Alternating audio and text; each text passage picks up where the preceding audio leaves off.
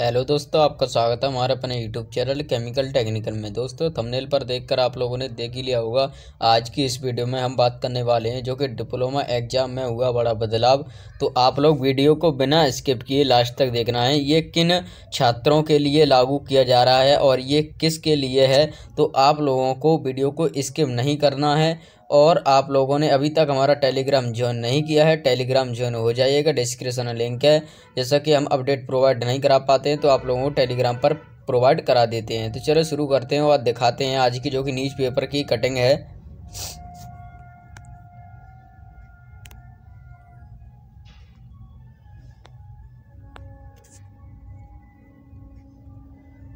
तो जैसा कि आप लोग देख पा रहे होंगे, जैसा कि मैंने आपको थंबनेल पर दिखा कि डिप्लोमा इन फार्मेसी के छात्रों को पंजीकृत से पहले देनी होगी परीक्षाएँ। तो ये किन छात्रों के लिए है, जो कि आप लोग आता तो डिप्लोमा के अंदर ही है, ठीक है बीटीपी बोर्ड के अंदर ही आता है तो ठीक है, जितने भी छात्र जो कि फार्मेसी वाले छात्र हैं तो उनको ये ध्यान में पूर्वक ये वीडियो देखना है, और आप लोगों का अगर दोस्त कोई भी है तो उसको शेयर कर दीजिएगा। क्योंकि ये नियम जो कि नया हज़ार बाईस से इसका जो कि बैच चालू हुआ है, उसमें लागू होगा जी, ठीक है?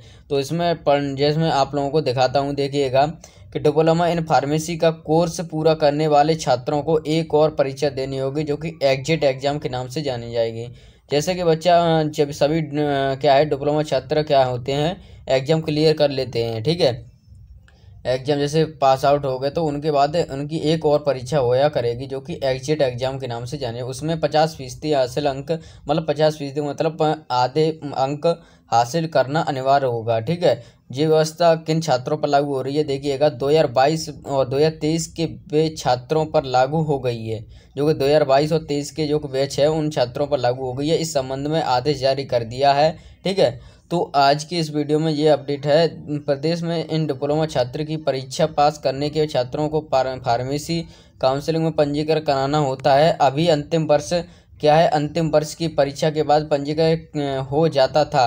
अब तक क्या है, पंजीकरण में हो जाता था, लेकिन उसमें क्या है, अब पास आउट होने के बाद क्या होगा, पास होने के बाद ही उसमें आप लोगों को एडमिशन देखने को मिलेगा, ठीक है? तो आज की जो कि न्यूज़पेपर की कटिंग है, जो कि डिप्लोमा छात्रों के लिए है, जो कि फार्मेसी कर रहे हैं बच्चे, ठीक है? उनके लिए है। तो आज की ये वीडियो कैसा लगा कमेंट बॉक्स में ज़रूर बताना।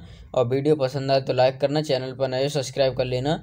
और और ऐसी मोस्ट अपडेट पाने के लिए हमारे चैनल को अवश्य सब्सक्राइब कर लेना। ओके थैंक्स मिलते हैं नेक्स्ट वीडियो नेक्स्ट अपडेट के साथ। तब तक के लिए जय हिंद, वंदे मातरम।